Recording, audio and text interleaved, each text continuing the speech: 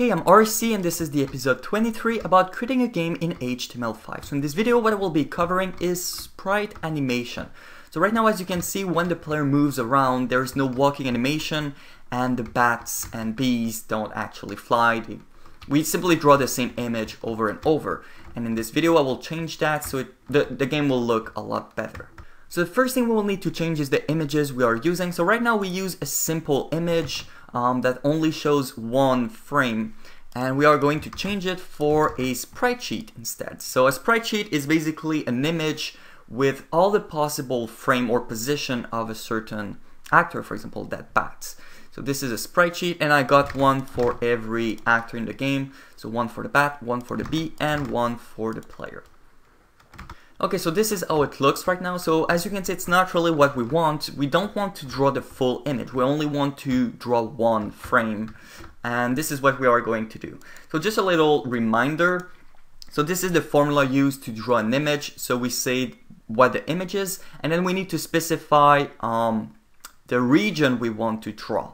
So right now we say, hey, start at um, 0, 0, so right here. Then we go all the way, we want the width to be the full width, so image width. So we say that, and then image white, uh, height. So we actually draw the full thing. In our case, what we would want to do is to only draw the height divided by 4 and the width divided by 3. So if we save and we refresh, this is how it looks. So now it's a lot better. So now if we want to draw, let's say, um, the player looking down, we will need to specify to tell the, the, computer that we don't want to start at 0, 0 and do the, the width divided by 3 and then the height divided by 4. We will want to start at here, so right in the middle. And this is what we are going to do next. So instead of starting at 0, 0, we are going to start at um, height divided by 2. So if we save and we go back here, as you can see, the player is now looking down, which is a little bit better. It's exactly like we had at the beginning. So one problem we have right now is with the bullets. So as you can see, the bullets are kind of glitch and it's because the bullets um, don't have multiple frames. As you can see, there's only one frame. So if we only draw a small region of that bullet, it's just makes no sense. So what we are going to do to fix that problem is that right now we have modified the draw function of the entity. Entity is the bullet, the upgrade, the player, everything. And um, we are going to revert to take that function over there, draw, and instead of putting it into the entity, we're going to move it into the actor position. So right here. So now only and we are going to revert back um, the entity draw back to normal. So it was 0, 0, like this, like that. So if you're an entity, we draw exactly like before, but if you're an actor, then we override the, the regular draw function with this new draw.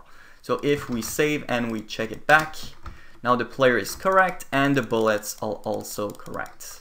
So right now in the game, we always face the down position. And this is because right here we said um, we want the region to be drawn to start at i divided by 2. So this region over there.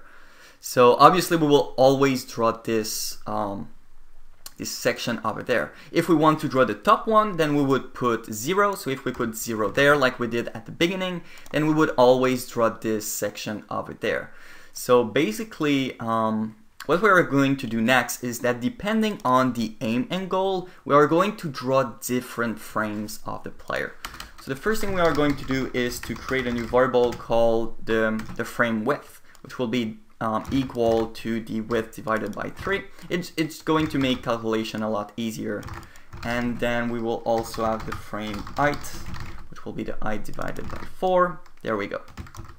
So basically if we leave it that way, then we are going to draw this sprite over there. If we put um, height 1 times height, then it's going to draw this sprite over there. And if we put 2 times, it's going to draw this one, and 3 times it's going to put this one.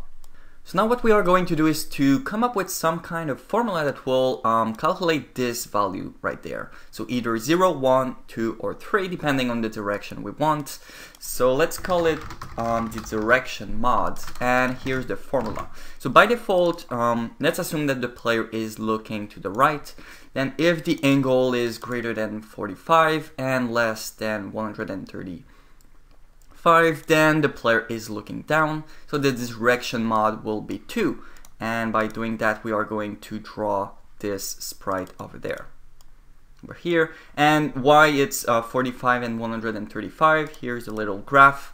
So this is um, the direction, the player is in the middle. So if the mouse is between this and that, then we assume that the player is looking downwards.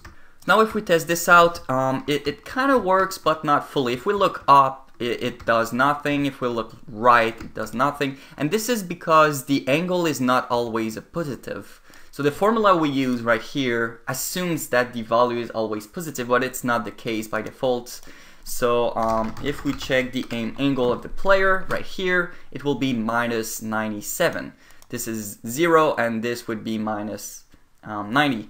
So what we are going to do in order to fix that problem is um, we're going to add a variable that will be this, so the self angle, and if it's less than zero, then it means we are doing it the other way around, so it will be equal to this right here. There we go. And if you don't really understand the formula, it's not really that big of a deal, but by, by doing this little trick, the aim angle will always be a positive, and if we refresh, it will actually work. So as you can see, I move around, and everything is great, and it also works for the bats, because they also have a aim angle. So the next thing we are going to work on is the walking animation. So right now we always draw the first frame. So we always draw one of those four sprites. So what we will want to do is to draw this sprite and then this one and then this one and then revert back to the beginning. So it makes a walking animation. And this is done with um, this parameter over there. So it's the, the X position where we start to draw the, the image. So we will need to come up with some kind of, let's call it the walking mods, which by default is zero right over there. And this modifier, which is 0, 1, or 2, because we got three frames for the walking animation. Um, this one, it's a bit tricky. It's not linked with the angle. We need to keep track of a counter that increase by one every single frame. And yeah, that's pretty much it. So what we're going to do here is to add a new counter. We'll call it, let's call it the sprite anim counter that will be 0 by default. And in the update loop over there, we are going to increase that um, counter by 1. So plus equal 1. There we go. And when we will want to draw it, you're simply going to do this over there. Uh, now, one problem obviously is that the anim counter will be greater than 2. The maximum is 2. So what we are going to do instead is to do a modulo 3. If you remember correctly, what the modulo 3 does is that if um, it's um, 3, then this will revert back to 0. Anyway, um, so it will work. It will make sure that the value is never over 3. So here we go. If we place that here, refresh, there we go. So as you can see, the player is walking really, really fast. And this is because we are increasing the value by one every single frame. So instead what we are going to do is to increase it by only 0.2. And here we are going to do a math floor. So we are going to round that number um, down to make sure that it's a um, integer. And then we are going to do the modulo 3. So there we go, it's 5 times slower. And it works pretty nicely. Now one problem we have with the current system is that if the player is not moving, well, you're, you're not actually pressing any keys, the animation still goes on because we don't really consider if the player is moving or not. So normally in order to prevent that, we would be um, keeping track of the speed of the player and if the speed is greater than zero, then we do the animation, so we increase the counter, otherwise we would do nothing, but we don't keep track of the speed, so that's a little issue. So what we are going to do to patch that, um, it's not the most optimal thing, um, maybe in the future we'll keep track of the speed of the player, but for now what I'm going to do is to simply take this over there and instead of putting it into the update loop of the actor, I'm going to place it into the update loop of the player over there and also in the update loop of the enemy. So right now I have changed exactly nothing. But what I'm going to do next is that in the player, in order to increase that value, the player will need to be pressing a position. So if it, he's pressing right or if he's pressing left or down or up,